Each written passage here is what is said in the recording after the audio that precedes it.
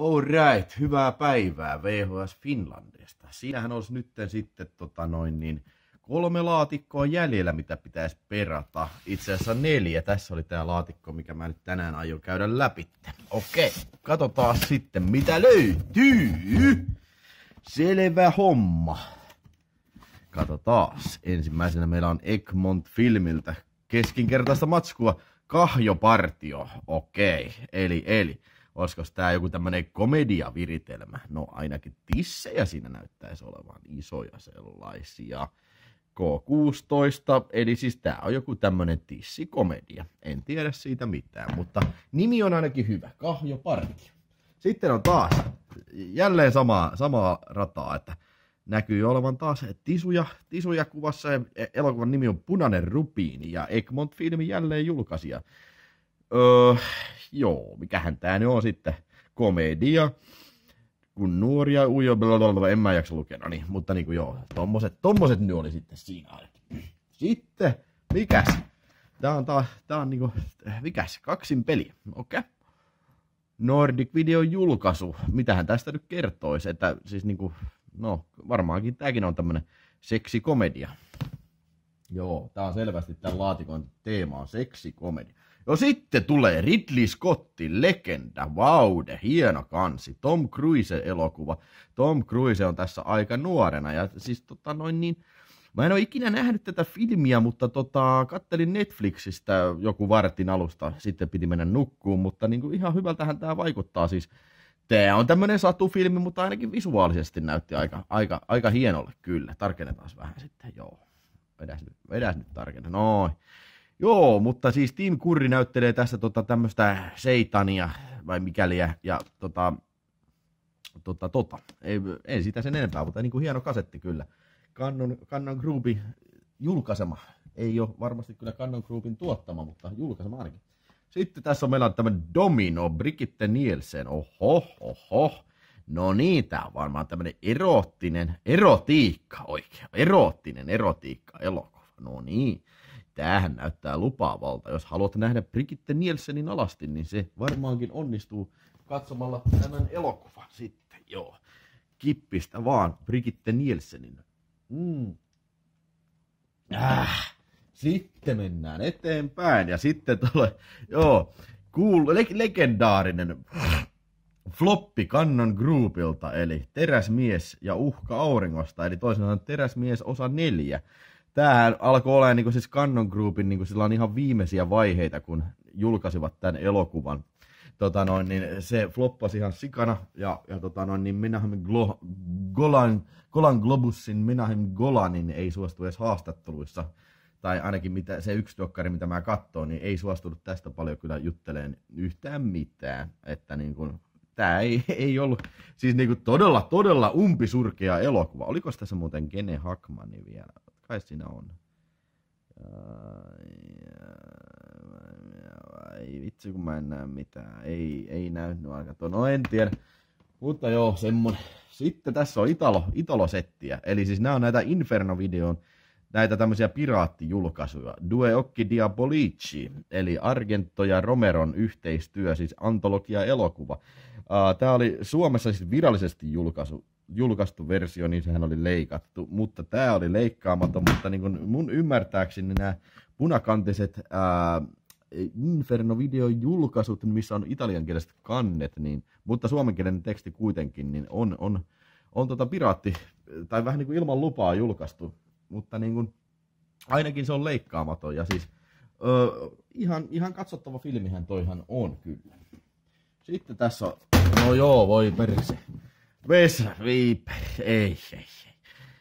Spede Pasanen tuotanto, Tupakka Lakko, voi jumalaude. Tää on kyllä niin perseestä. Mutta tietysti jos tykkää Pertti Pasasen tuotannosta, niin kai näillekin, niin kun, siis kai sitäkin saa sitten jotain niin kun, masokistista kiksiä, kun näitä katselee. Joo, kaikkihan sen on nähnyt. Sitten Mel Brooksin vähän vastaavaa farssia kuin Spede Pasasella, mutta niin kuin korkeuskammo, eli siis tämähän parodioi noita Hitchcockin filmejä sillä tota, niin, Nyt just en muista, onko mä edes nähnyt tätä, mutta niin kuin Mel Brooks on, jäl, on kyllä mun, mun mielestä kyllä aika, aika yliarvostettu tuommoinen komedian tekijä. Niin kuin sen filmit ei vaan ole kyllä kauhean hauskoja. Ihan niin kuin suoraan sanottuna, kattelin sen Spaceballsinkin uudestaan Netflixistä ja se oli kyllä tosi perseistä. Niin kuin, muistin, muistelin, että niin kuin Skidinä se oli tosi hauska, mutta niin kuin, guess what, ei ollut kyllä enää näin aikuisella iällä. Tai sitten musta on vaan tullut tämmönen kyyninen paskaläjä. Niin kuin, se pitää kyllä sekin paikkaansa. Sitten hei hei hei, Yösaalista. Ja mikäs tää tämmönen on? Video Express Skandinavian julkaisu vuodelta 85. No juu, Video Express hän julkaisi kyllä niin kuin eh, hyvää kamaa, mutta tuota noin niin tästä en tiedä mitään. Se tuskin on mitenkään har- harvinainen tai arvokas tai haluttu, koska niin kuin, äh, aika, aika tusina tavaralta, tavaralta kyllä näyttää. Eli pidin ton kyllä vaan sen takia, että se on Video Express julkaisu. Mennään eteenpäin, voi vittu, ei, ei, ei, ei, ei, vittu. Tähän, tähän lootaan on selvästi niin kerätty kaikki maailman paska Siis tää on, äh, vittu tää on perseestä, ja mä en niin älyä, miksi tää on julkaistu, tää on julkaistu Suomessa sekä VHS että DVDllä. Niin kuin vittu, ei tää oo kyllä niin hyvä. Tää on, tää on, tää on siis niin kuin independent-elokuva, missä niin kuin rock and roll Frankenstein kasataan kuolleiden muusikoiden palasista. Joo, voi perkele, se kuulostaa hauskalta, mutta voi saakeli, se ei ole kyllä sitä. Se ei ole kyllä yhtään sitä. Mennään eteenpäin. Uh.